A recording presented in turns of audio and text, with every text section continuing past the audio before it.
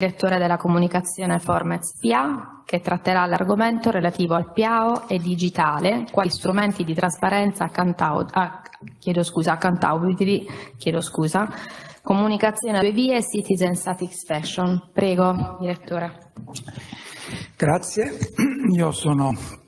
direttore della comunicazione istituzionale delle relazioni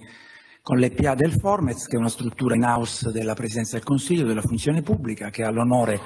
di avere anche la Regione Puglia fra i suoi soci. E sono giornalista, scrivo sul Corriere del Mezzogiorno e più saltariamente sul Sole 24 Ore e docente eh, in varie università. Sono contento di poterlo dire qui perché la Puglia non è solo la mia regione, ma anche la regione dove ho cominciato questa attività universitaria ormai 30 anni fa, all'Università di Bari, quando un'intuizione dell'allora preside della Facoltà di Economia e Commercio Giovanni Girone, intuì, l'intuizione si basò sul fatto che la comunicazione, il primo corso di comunicazione in Italia fu fatto a Bari, questo pochi lo sanno, nel, eh, nella, nel corso in marketing e comunicazione di azienda, cioè la comunicazione legata alla gestione manageriale. Un'intuizione che poi purtroppo è stata abbandonata creando dei danni sicuramente a questa funzione fondamentale delle attività pubbliche. Eh, oggi ho, ho, cercato di impostare il lavoro anche su richiesta della dottoressa Caccavo che ha, eh, in, che ha eh, organizzato un evento così coerente nella sua struttura, non tanto di parlare, eh, ho cercato, cercherò non tanto di parlare dei valori che sono dietro queste parole che ho messo al centro del mio intervento, cioè il PIAO come strumento di trasparenza, accountability, comunicazione e citizen satisfaction, ma far parlare le norme che noi abbiamo nel nostro ordinamento che raccontano questi valori. Perché parlare di valori è molto semplice nei convegni, fa fare bella figura e fa sentire eh, gratificati, ma in realtà noi abbiamo un sistema, un ordinamento che come sarebbe contento il mio maestro Sabino Cassese di sentirmi dire che il diritto amministrativo, la pubblica amministrazione si basa sulle norme. Tutto ciò che è al di fuori delle norme eh, non ha valore se non come auspicio e tutto ciò che è nelle norme molto spesso resta sulla carta perché esistono delle resistenze interne che eh, ne rendono difficile l'applicazione. In parole più semplici, con sintesi giornalistica, quello che vi dirò è tutto già scritto.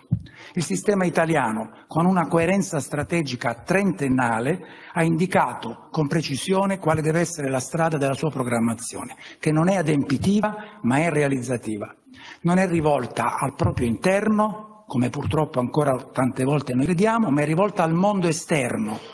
Il nostro obiettivo di amministratori pubblici è aprire le finestre, far entrare l'aria, il vento, eh, la pioggia, il sole della vita esterna con i problemi, con le sue minacce, con le sue criticità, per rigenerare anche il senso della nostra missione pubblica. Ecco perché il mio intervento parlerà di norme che esistono,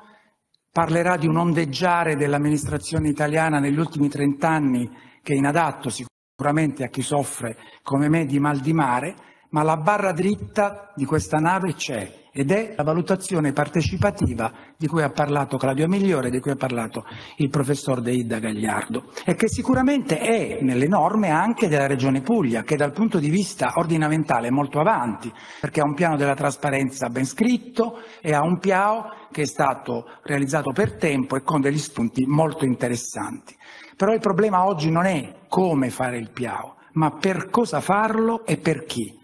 Noi dobbiamo cambiare la domanda, perché se no non cambieremo mai la nostra analisi. Per chi dobbiamo realizzare questa programmazione? Per cosa? Ecco, io partendo dalla famosa frase sulla casa di vetro del deputato Filippo Turati che nel 1908 disse alla Camera che l'amministrazione, salvo casi di momentaneo e superiore interesse, deve essere una casa di vetro, ecco io direi che il nostro obiettivo deve essere far diventare la casa di vetro, la casa del cittadino, la casa dove le persone si sentono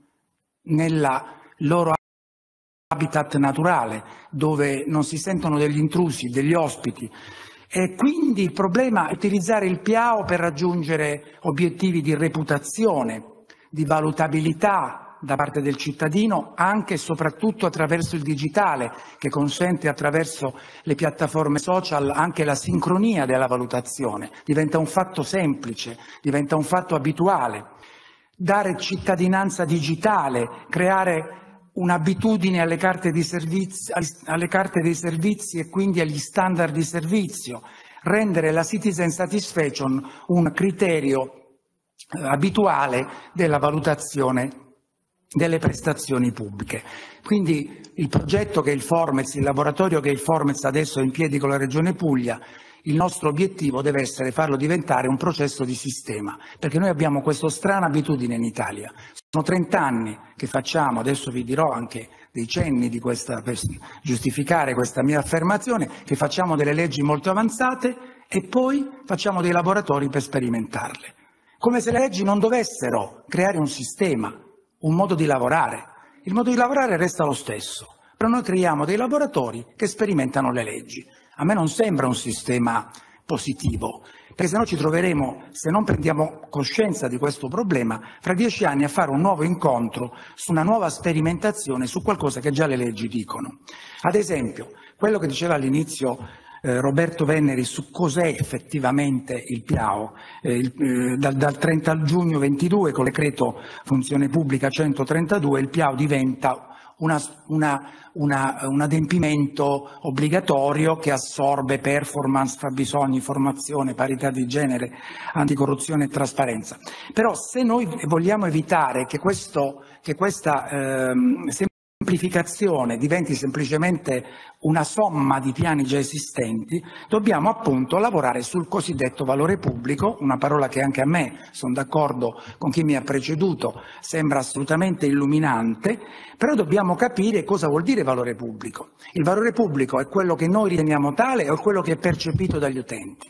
Anche qua è un altro bivio, se noi pensiamo che il valore pubblico è ciò che riteniamo noi, saremo sempre concentrati sulla nostra efficienza organizzativa, sulla nostra riorganizzazione, sulla costruzione di nuovi uffici, per esempio, come è successo con il decreto 97 del 2016 sulla trasparenza, che più che cambiare il modo di vivere dell'amministrazione ha costruito nuovi uffici, nuove strutture, nuove identità all'interno delle piante organiche. Era questo l'obiettivo della trasparenza, del FOIA italiano, del Freedom of Information Act italiano? Sicuramente no. E allora dobbiamo chiederci quali sono gli obiettivi effettivi del valore pubblico e per chi e da chi dobbiamo farceli dire e valutare. L'articolo 6 del punto 3 del decreto legge 80 del 21, quindi proprio quello che eh, riforma tante cose, tra questi anche il Formez, ma riforma e introduce il PIAO, dice con chiarezza che cos'è questa programmazione, ma è uno dei punti che, come dicevo prima, vengono oscurati, perché nelle nostre leggi noi alcuni articoli li rendiamo cogenti e altri li rendiamo degli auspici,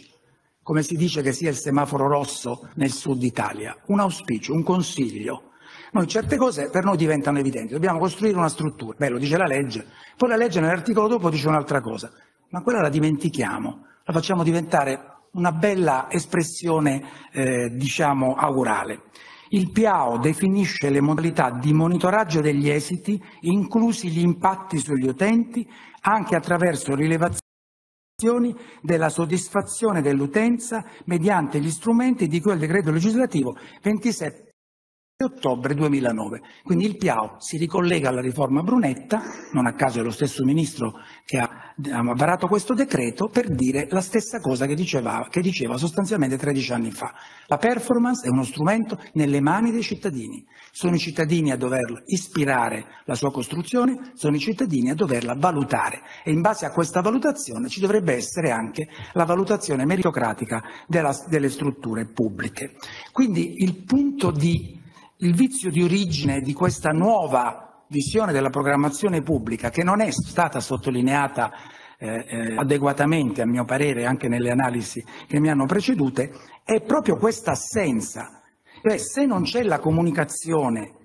la citizen satisfaction come elemento chiave della valutazione dei piani, non c'è l'accountability. Quindi, di fatto, la nostra idea di valore pubblico resta sostanzialmente parziale e quindi veniamo meno a questa coerenza trentennale del legislatore italiano a cui io faccio un riconoscimento pubblico. Noi siamo un paese molto avanti sul piano delle leggi, nessuno ci può insegnare, perché noi è dal 1990 con la 241 che diciamo che l'amministrazione deve imparare la trasparenza. Lo diciamo prima di molti altri paesi, certo non prima della Svezia o degli Stati Uniti, ma sicuramente prima della Francia o della Spagna che poi ci hanno superato perché dicevamo già nel, nel, con la 241 che il cittadino può accedere agli atti pubblici, solo che mettevamo un limite, se ha un interesse specifico e attuale. E poi all'articolo 24,9 della 241 dicevamo una cosa abbastanza eloquente dello spirito del tempo. In nessun caso la trasparenza può essere usata per controllare l'attività della pubblica amministrazione. Cioè il legislatore del 90 diceva non dobbiamo controllare la pubblica amministrazione. La pubblica amministrazione è insindacabile, può soltanto essere interpellata quando ha un interesse specifico. Ma poi arrivato il 94 col DPR che diceva che i cittadini devono valutare e decidere insieme le politiche pubbliche, eh, una DPR che si è tradotto nella legge del 95, è arrivato il 2000 con la legge sulla comunicazione pubblica, il 2004 e il 2005 con due circolari sulla citizen satisfaction che sembrano scritte a Stoccolma, non a Roma, poi è arrivato il 2009 con la riforma Brunetta, la performance, le faccine,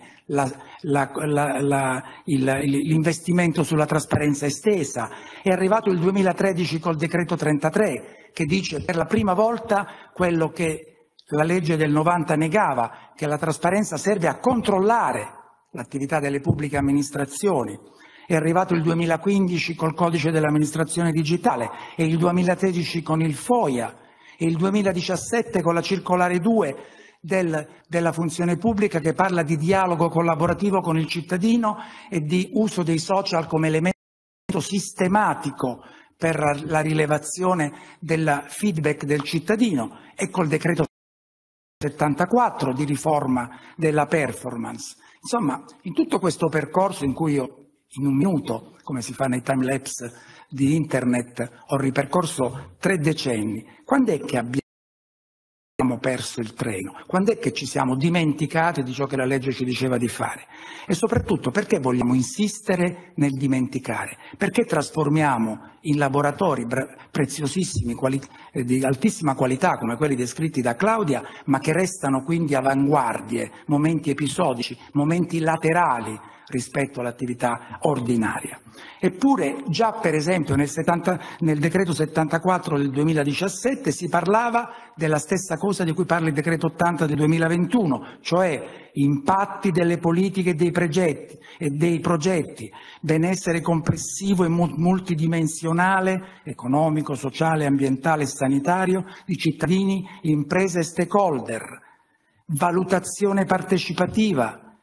valore, un valore pubblico che si contrappone all'autoreferenzialità, all'adempimento, perché fa una sorta di filiera, analisi dei bisogni, obiettivi, minacce emerse dal contesto, e sarebbe facile trovare quante minacce ci sono in una burocrazia pubblica rispetto a queste innovazioni, quanti sono i centri di resistenza rispetto al dialogo effettivo con gli stakeholder e i cittadini.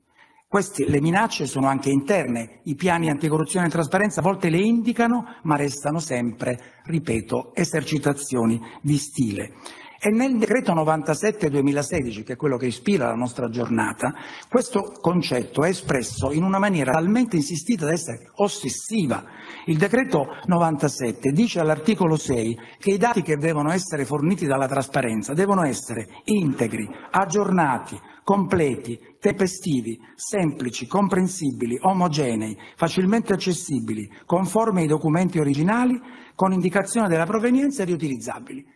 Quanti dati che noi pubblichiamo con la trasparenza rispondono a questo articolo 6? Quanti dati nostra zia potrebbe andare volentieri a consultare ricevendone un beneficio? A parte che dovrebbe sapere di poterlo fare, e qui c'è un problema di deficit strutturale della comunicazione sulla trasparenza, ma pure ammesso che qualcuno lo sappia, quanti dati comprensibili, utilizzabili, utili alla sua vita quotidiana noi comunichiamo con la trasparenza? L'articolo 32 del 97 dice che le PA e i gestori di servizi pubblici sono tenuti a pubblicare le carte dei servizi con costi contabilizzati e relativo andamento. Sapete che vuol dire le PA e gestori di servizi pubblici? Vuol dire le municipalizzate, vuol dire le strutture sanitarie, vuol dire le strutture che gestiscono un servizio di utilità pubblica. Devono pubblicare le carte dei servizi, devono dirci, a noi cittadini, a cosa abbiamo diritto. Abbiamo diritto che l'autobus abbia l'aria condizionata o no? Perché se abbiamo diritto è un conto, se non abbiamo diritto è un altro. Per non essere sudditi dobbiamo sapere ciò di cui abbiamo diritto. Quanti rispettano o sanno che esiste un articolo 32 con un comma 2 all'interno del decreto 97 del 2016? L'articolo 10,9, sempre, sempre, del decreto 97, che c'era già nel 33, quindi perché il decreto 97, come sapete, riforma il 33, ma in molte cose lo conferma e dice che la trasparenza è la dimensione principale ai fini della determinazione degli standard di qualità dei servizi pubblici da adottare con le carte dei servizi. Allora, fra la trasparenza accountability, che io ho messo nel, mio, nel titolo del mio intervento, e la trasparenza adempitiva, la trasparenza poliziesca, la trasparenza che serve a individuare questa enorme frotta di ladri che secondo questa visione comune, questa narrazione indecorosa, indegna, offensiva, viene portata avanti anche dalla stampa. L'amministrazione è fatta a metà di fannulloni e per metà di persone che non aspettano altro che di raccomandare il cugino. Ma è così? Noi che viviamo dentro l'amministrazione, quante persone corrette, per bene, serie che vogliono lavorare incontriamo. Perché dobbiamo fare della trasparenza un meccanismo aggiuntivo rispetto alla magistratura, rispetto alla polizia giudiziaria? Eppure questi sono i piani anticorruzione, la mappa del rischio, la cultura del sospetto, la rotazione delle imprese, per cui se io faccio un lavoro di, di un anno e mezzo per trovare un'impresa che mi fornisce un servizio, l'anno dopo la devo cambiare, perché se no sono a rischio di abuso, non è che qualcuno viene a dire se ho qualche interesse a creare, a creare una, eh, diciamo, una permanenza del fornitore. Io l'interesse pubblico che ho è mantenere un fornitore che mi ha dato una buona prestazione. Non dico per 30 anni, ma certo per più di uno. Ma potremmo fare tanti esempi. Chiunque gestisce appalti all'interno dell'amministrazione sa di cosa parlo, sa che è completamente eh, annichilito dalla trasparenza per come è stata concepita in Italia. Eppure, ah, siamo sempre lì, le cose che si scrivono e non si leggono, fu l'ANAC, l'ANAC, l'Autorità Nazionale Anticorruzione, a scrivere nelle sue linee guida il FOIA serve alla partecipazione civica, alla valutazione, alla democrazia e inoltre alla prevenzione della corruzione. Invece l'abbiamo trasformato in uno strumento di, pol di polizia. Questa è già una delle grandissime rivoluzioni da fare, concepire i piani di trasparenza come dei piani che aprono le porte dell'amministrazione. Del resto questo è l'interesse di un politico, perché un presidente di regione, un sindaco, ha interesse ad aprire le porte del comune della regione o a far diventare il comune e la regione una cittadella di malfattori assediata dalle norme. Quindi dovremmo semplicemente assecondare quello che è il desiderio di qualsiasi politico che giustamente si vuole confrontare con il consenso, eppure non riusciamo a farlo, né quasi nessuno riesce a farlo. Nel, nel, nel sito del governo foiagov.it si dice anche questo, perché il governo sa benissimo quali errori si stanno facendo da cinque anni sul tema della trasparenza. Scrive, per realizzare un piano della trasparenza adeguato, facciamo il cosiddetto test dell'interesse pubblico. Io scommetto che nessuno ha idea di cosa sia, eppure è scritto sul sito da, del, del, Ministero della PA, non è che è scritto in una mia pubblicazione, diciamo, avveniristica. Per fare la trasparenza vediamo se quello che stiamo facendo serve a una migliore comprensione del dibattito pubblico e delle scelte effettuate dalle amministrazioni, a una maggiore partecipazione alla formazione delle, delle decisioni e alla valorizzazione del confronto diffuso delle finalità istituzionali sull'utilizzo delle risorse pubbliche per responsabilizzare gli apparati pubblici. Qualsiasi presidente di regione, non solo Emiliano, ma anche De Luca, ma anche Zaia, ma anche Zingaretti, sarebbero d'accordissimo. Questo serve questo piano, a mettermi in una posizione di apertura verso i miei elettori, che sono poi cittadini. Ma questo test dell'interesse pubblico, chi lo fa? La Regione Puglia ha fatto un piano della trasparenza estremamente interessante Io l'ho studiato perché ho fatto l'anno scorso una lezione eh, molto accurata, approfondita sulla trasparenza, ma mi chiedo quanto siamo avanti dal punto di vista dell'effettiva realizzazione, dell'effettiva percezione da parte di tutto l'apparato amministrativo che la struttura pubblica deve essere ormai citizen oriented, come dicono le imprese, orientata non sul proprio prodotto, ma sull'impatto che questo prodotto ha sui cittadini. E continuo a dire che non è Sergio che dice queste cose, anche se io umilmente le scrivo e le insegno da tanti anni, lo dice il Consiglio di Stato. Già nelle osservazioni al FOIA scrisse Sempre più spesso le riforme si perdono nelle prassi amministrative conservative, nel difetto di un'adeguata informatizzazione, nel mancato apprendimento dei meccanismi da parte degli operatori pubblici, nel difetto di comunicazione con i cittadini e le imprese, che non riescono a conoscere e quindi a rivendicare i loro nuovi diritti. Non lo dice un'associazione di consumatori o un partito estremista o populista, lo dice il Consiglio di Stato che poi con la sentenza 10 del 2020 eh, fissa il dovere di esaminare l'istanza del cittadino anche se espressa in modo generico e anche se incerta fra il 241 1990 e il 97 2016.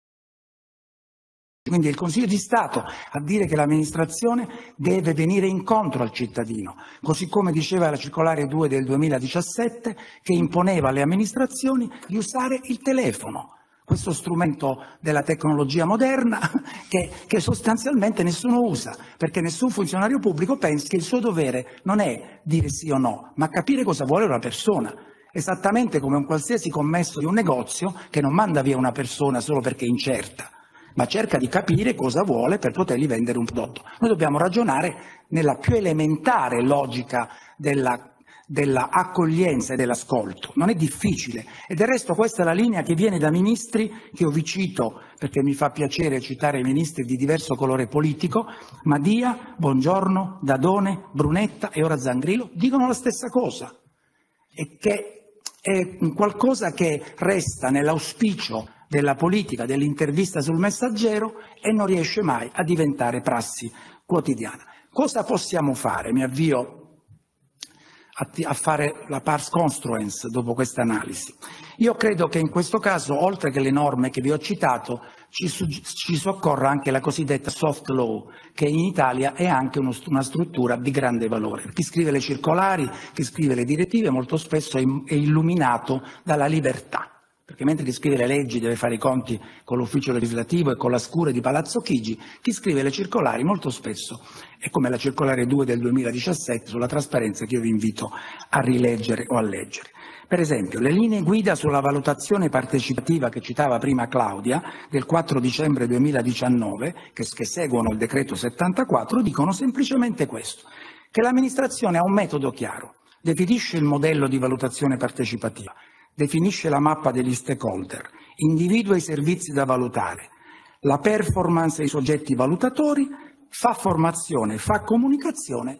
ottiene i dati e li utilizza. È un meccanismo, una filiera produttiva della valutazione partecipativa molto importante. Certo, poi dice che a fare questo deve essere l'OIV, mentre l'OIV insomma è vero che è diventato una sorta di factotum nell'idea delle amministrazioni, perché è veramente incomprensibile come un solo organo possa fare tutto quello che la legge gli dice, ma perché non ci si è dimenticati che esistono le strutture di comunicazione e di comunicazione digitale, che perlomeno insieme all'OIV, non dico da sole, dovrebbero fare questo, perché se noi chiediamo all'amministrazione di parlare con i cittadini e di comunicare ai cittadini, come, come facciamo poi ad affidare questo compito all'OIV o agli uffici legali che gestiscono la trasparenza? Questo sistema dell'amministrazione inchiodata agli uffici legali è la fine dell'amministrazione partecipata, perché gli uffici legali hanno una logica evidentemente difensiva, evidentemente ostativa, perché quella è la loro missione, fare attenzione, mettere in guardia. Le strutture di comunicazione hanno invece una, una struttura volutamente professionalmente aperta,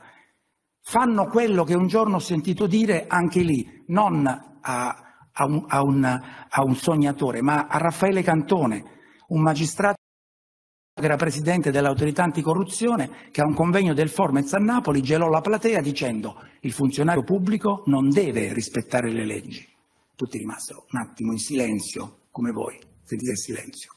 E certo, lo dice Cantone, deve fare ciò che le leggi non gli vietano di fare. È un cambiamento culturale, è una rivoluzione mentale. Noi dobbiamo fare ciò che la legge non mi vieta espressamente per raggiungere il mio obiettivo, per consentire ai cittadini, ai cittadini e agli utenti, come dicono le linee guida del 19, di svolgere un ruolo attivo anche nella riprogettazione del servizio. Il giorno che noi cambieremo un servizio perché le persone ci hanno detto che così non funziona bene, ecco quel giorno avremo creato una embrione di amministrazione aperta questo open government di cui tanto si parla, in cui l'Italia è in prima linea, sempre nella teoria, e che parla proprio di trasparenza accountability, di partecipazione civica, di innovazione digitale al servizio dei cittadini. Questi argomenti sono noti al governo perché la commissione tecnica per la performance che è stata istituita da, dal ministro uscente, da Brunetta, il 19 ottobre 2021, nella sua relazione, oltre a citare Formez, SNA, eh, Istat come partner di, una, di un network per controllare la performance, dice che vi è scarsa qualità degli obiettivi e degli indicatori, limitata integrazione con il ciclo di programmazione economico-finanziaria, limitato coinvolgimento dei decisori chiave, stiamo parlando del PIAO, eh, sistemi di controllo di gestione non ben sviluppati,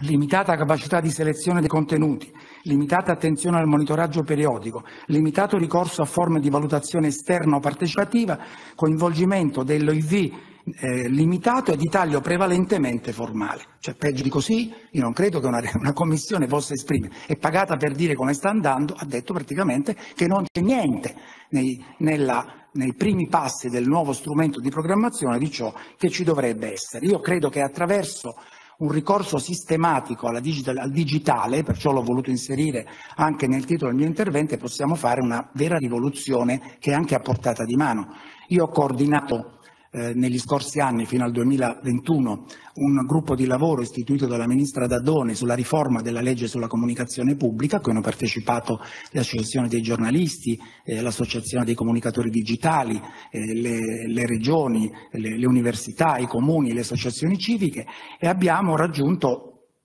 un'idea per la riforma della legge 150, l'abbiamo chiamata la legge 151 per dire quella che viene dopo, con un, anche un testo che, a cui ho lavorato con l'ufficio legislativo che inserisce l'esperto digitale fra le figure della, della, della, eh, del, del pubblico impiego. I social media manager sono figure fondamentali che possono cambiare il nostro impatto col mondo esterno. Se oggi noi siamo qui in 50 in contatto con 100, 200, 300 persone, lo abbiamo le tecnologie. In pandemia abbiamo imparato che vuol dire avere un mondo che si dilata attraverso l'intelligenza artificiale, ma anche solo attraverso piattaforme che ci fanno studiare insieme, stare insieme, comprare delle cose al di fuori, eh, ci fanno fare delle, mm, ampliano moltissimo, ci fanno capire che il remoto diventa la vera dimensione della partecipazione civica, ma per questo ci vogliono degli esperti. La Francia, che è partita dopo di noi, ha un centro interministeriale per la partecipazione che è, fa, che è, istituito per aiutare tutti gli enti che puntano su questo aspetto fondamentale della nuova policy e che quindi attraverso il repertorio questi, del portale della Francia si può si possono conoscere le consultazioni pubbliche, le proposte dei cittadini e gli impatti che hanno avuto sulle politiche pubbliche. Io spero che il Formez e la Regione Puglia possano fare qualcosa del genere. Con la amica e collega Alessia Grillo, segretaria della conferenza delle regioni, stiamo lavorando ad un'idea di eh, sviluppo di questa idea sulla sanità, perché se riusciamo a inserire, ho sentito degli interessanti aspetti anche dalla dottoressa Gattulli di eh, sperimentazione su questo, sentirsi accolti in un ospedale, in un ASL, l'Italia ha forse le migliori prestazioni mondiali a livello di sanità pubblica, però non ha fatto il passo verso l'accoglienza, verso il dialogo con la persona che entra in un posto dove si sente, si sente un estraneo e magari poi ne uscirà con una idea positiva della prestazione che ha subito, ma che ha ricevuto, ma non è eh, assolutamente eh, eh, completo questo percorso finché non ci sarà un meccanismo di comunicazione e di accoglienza. Io concludo dicendo, cominciato con Turati e finisco con Steve Jobs, siate, affamati, siate folli, la famosa frase di Steve Jobs. Abbiamo, dobbiamo avere il coraggio di osare. Siamo in una società che sta rischiando, perché la nostra è una società ricca, una società che ha, vive di diritti acquisiti che in tanti paesi del mondo sono negati, basti pensare all'Ucraina, all'Iran, all'Afghanistan, ma dobbiamo uscire da questa coltre, da questa spessa coltre di stanchezza, di rassegnazione che si esprime poi nella famosa fuga dalla firma, ma io direi soprattutto fuga dalla fiducia, nel senso che noi non abbiamo fiducia nel lavoro, nella, nella, nella struttura in cui lavoriamo e quindi non riusciamo a trasmetterle ai cittadini. Nessuno crede di avere dall'altra parte uno Stato amico perché noi per primi ci sentiamo parte di uno Stato ingessato, ma non è così. Le possibilità di cambiare ci sono i politici che si avvicendano al vertice hanno tutto l'interesse a farlo perché il loro obiettivo è ottenere il consenso, non facciamo ostacoli, non creiamo barriere inutili, quasi con quelle profezie che si autoavverano, perché tutto ciò che possiamo fare non lo faremo perché tanto qualcuno ce lo impedirà. Il Formez in questo è specialista, Claudio mi può mi può confermare, sono anni che in tutte le cose che facciamo partiamo da condizioni difficili, ma per la fine otteniamo sempre un cambiamento dello spirito con cui i colleghi con cui lavoriamo nel, negli enti locali o nei ministeri si, eh, si accostano alle cose che facciamo. Il digitale che noi abbiamo in tasca, ognuno di noi ce l'ha in questo strumento, è una, un elemento che può creare un, un surplus di etica, perché è uno strumento che vive, ci fa vivere in una nuova civiltà dove c'è la parità fra chi parla e chi ascolta, ognuno di voi adesso con un semplice tweet può dare un giudizio magari molto negativo su quello che dico, molto positivo, c'è parità finalmente fra la cattedra e l'uditorio, c'è parità fra l'amministrazione e il cittadino, si demoliscono barriere e se mi permettete vi è quello che Henry Bergson chiamava il valore aggiunto della comunicazione, che il digitale rende possibile. Ti dà un supplemento d'anima, qualcosa che prima non avevi e che dopo un dialogo, anche nella vita normale accade, quando parliamo con una persona che ci dà qualcosa di se stesso, ci sentiamo più grandi e più ricchi. Dobbiamo fare la stessa cosa fra noi che rappresentiamo la cosa più bella che esiste e che è lo Stato.